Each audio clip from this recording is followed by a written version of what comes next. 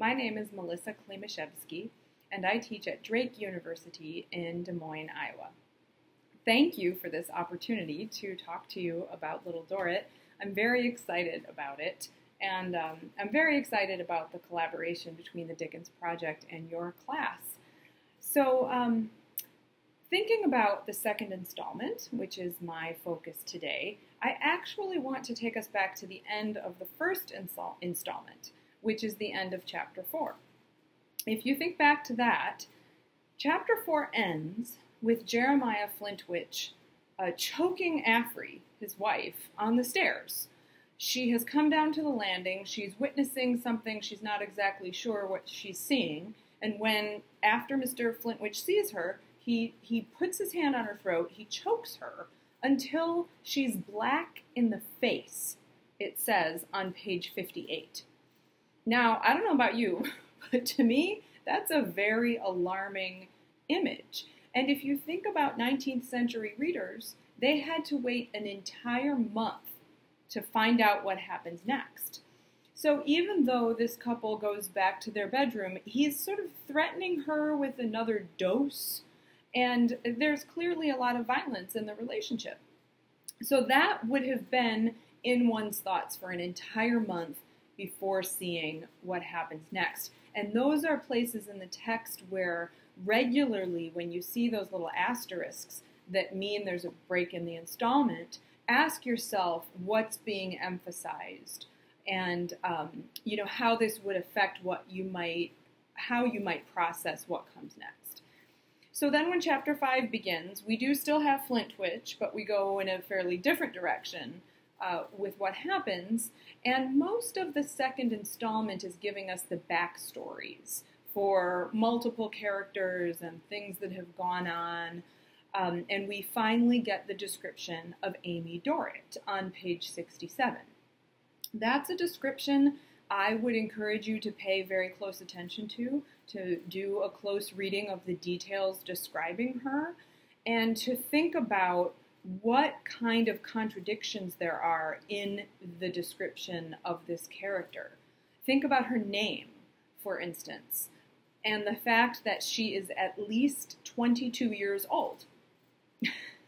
when you read the description and when you see how she behaves, I think we tend to have an image of a child or a teenager, and she's at least 22 years old. This is a grown woman. So that opens up questions about uh, the tension between the word little and the word Dorrit. So we have tension right in the two words of the title of the book that also are embodied in the title character. So there's a lot of complicated things you could talk about there. And I think it's also important to think about who calls her Amy and who calls her Little Dorrit whether the narrator is consistent in that um, name, and what are you calling her in your mind when you read? Are you calling her Amy, or are you calling her Little Dorrit? And think about what's at stake um, in in that name. The other thing I would point out uh, is chapter six, which is called "The Father of the Marshalsea." I would ask you, what does it mean to be the father of a place? That's sort of strange to call someone the father of a place. And it doesn't just have to do with how old he is and the fact that he's the oldest there.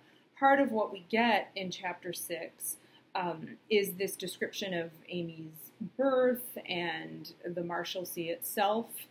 And that starts to open up questions about different types of definitions of prisons and homes which you've probably already started to talk about. But I would encourage you to really push on that idea of what is a prison? What do we associate with prison? What do we associate with home? And um, how is this book really complicating those things and challenging us to think about them in maybe more complex ways than we usually do?